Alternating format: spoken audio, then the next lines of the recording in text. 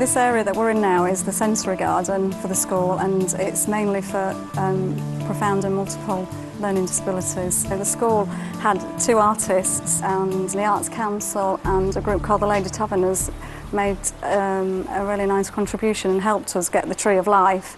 So we did some CAD-CAM stuff on, for the tree. Most, most, all the colours of the branches are linked to every team in the school. Um, so all of them have taken part in it and in the weaving as well. But uh, around this corner, we can see that all these leaves that are made of perspex, acrylic, they were all used with CAD-CAM with Year 9 and they've done what we did in the lesson earlier, using the sticker machine, put their names on or the Tree of Life and they really enjoy doing that and shaping them. So then in a few months' time, all the leaves will change again and the whole school will be involved in making new leaves or new shapes for the tree and it's just going to be an evolving project really. Many of those of us working in design and technology felt there was a need to integrate the HLTA standards with design technology specific training. Uh, we looked at what the opportunities out there were and then explored with Sheila Guys from Best Practice. The outcome of that being the 10 day design and technology specific HLTA programme that we embarked on just over a year ago. Today, trainee HLTA Kath Pugh is working with learners in a Year 8 class at St Hugh's Communication and Interaction Specialist College in Scunthorpe. We put it down low in our vice so we don't so it doesn't wobble about. And when we're sawing, Michael, put your hand up and tell everybody that's spot on. We to keep it straight. We keep it straight so we don't twist this way. The way we follow the line is we go that way. Does this say, oh, if if you went that, that way, it could go more down there. It'll get stiffer. stuck. Kath is part of a pilot scheme that a number of schools in North Lincolnshire took part in. In conjunction with funding from the local authority, Best Practice Network provided training for all the HLTAs taking part in the scheme, with particular focus on design and technology. They're making a desk tidy made out of wood. The, the acrylic, the shaping, so that's going to be going at the back of the desk tidy, and they'll have their name on it, which is what we're going to use with the sticker machine. So they're just shaping it for now to go on the back. On them. Okay, just go forwards and backwards. Really gently, Luke, okay? Yeah. Kath has worked as a TA in, in this school for a number of years.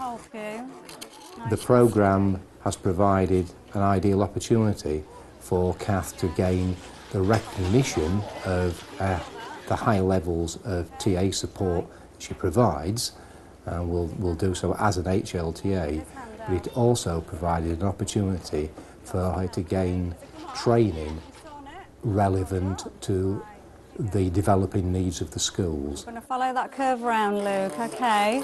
So try and keep it straight. She has developed the ability to provide a high level of technical support for CAD-CAM activities appropriate to the needs of the learners in this school and that is having a quite quick impact on the levels of uh, of learner achievement in the school. Back down again.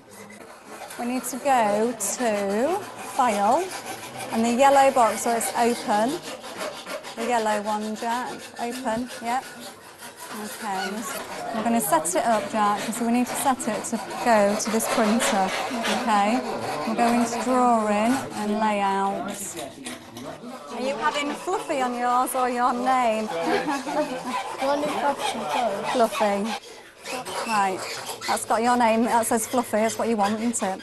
Financial support for the programme was made available from the local authority's HLTA grant from the TDA.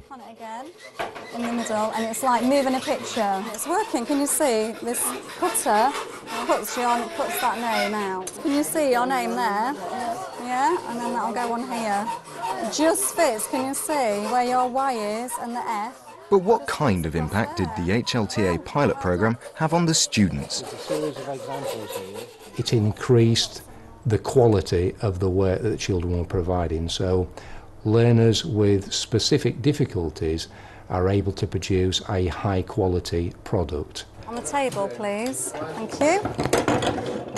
Sauce, files. You. It's the final part of the lesson and time to clear away the equipment.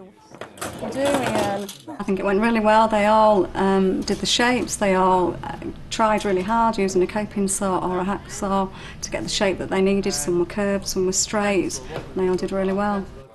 Kath decides to showcase Jack's work to the class. Mr. Fowler, would you like uh, Jack to show what he's done on the sticker machine?